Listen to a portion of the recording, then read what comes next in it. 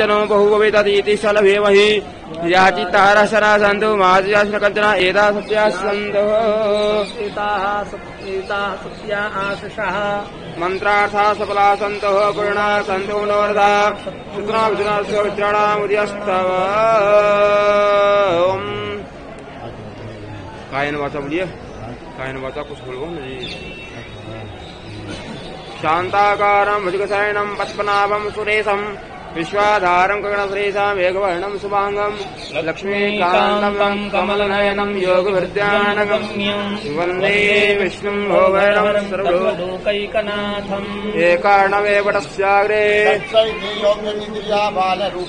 मनमन्त्रमुक्तः संसार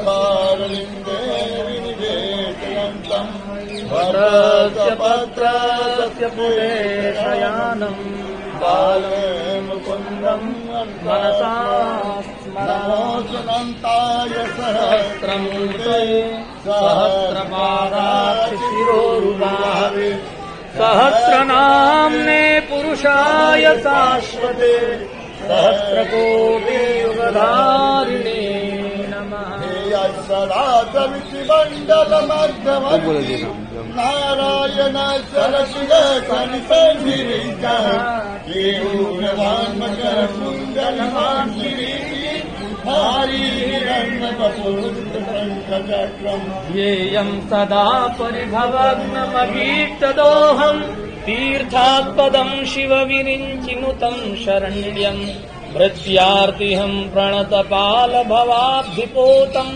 वन्दे महापुरुषते चरणारविन्दम् वंशे विभूषितकरान्नवनीरदाभात्। पीताम्बरादरुणबिम्बफलाधरोष्ठात्।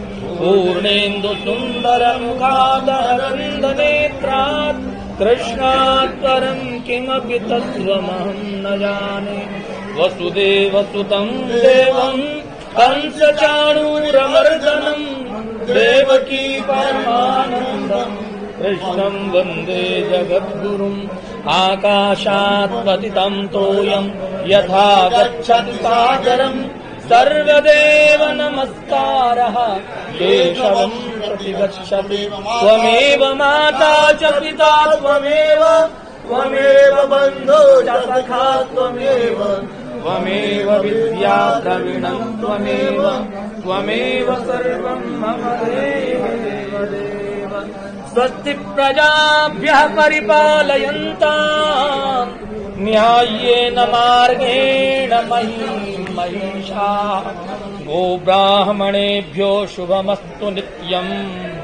लोकाः समस्ताः सुखिनो भवन्तु।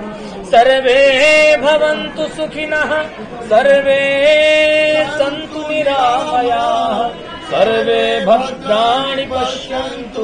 मा कश्चित् दुःखभाग् भवेत्। पूर्णमदः पूर्णमिदम् पूर्णात् पूर्णमुदच्यते पूर्णस्य पूर्णमादाय पूर्णमेवावशिष्यते।